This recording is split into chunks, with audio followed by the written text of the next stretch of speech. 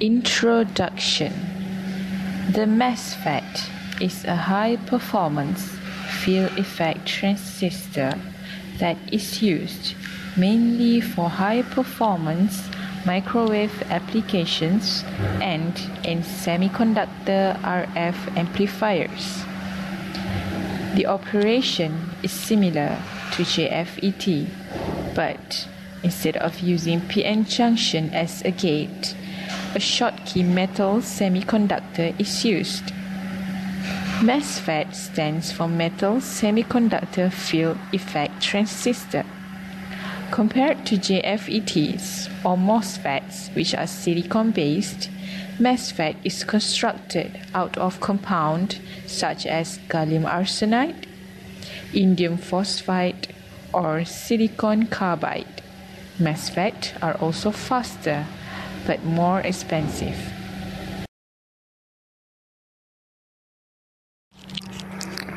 The operation of MESFET.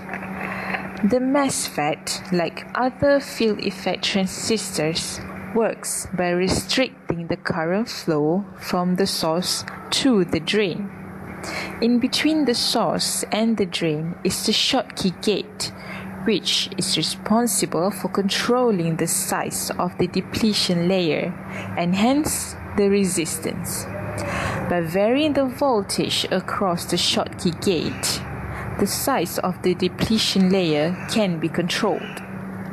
This will change the amount of electron that can flow across the gate.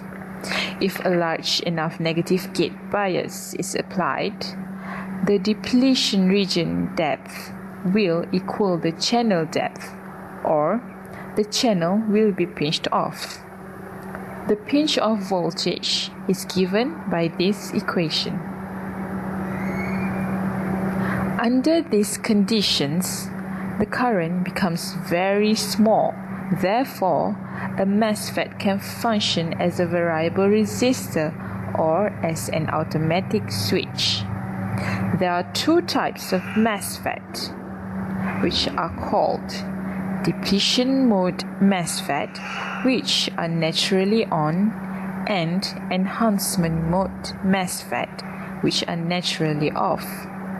On a depletion mode MESFET, the depletion layer is much smaller, hence current can normally flow when the gate voltage is zero. But an enhancement mode MESFET has a big depletion layer when the voltage across the gate is zero. Therefore, for current to flow across an enhancement mode MESFET, a positive voltage must be applied to the gate. The semi-insulating substrate layer at the bottom of the MESFET is to reduce parasitic capacitance.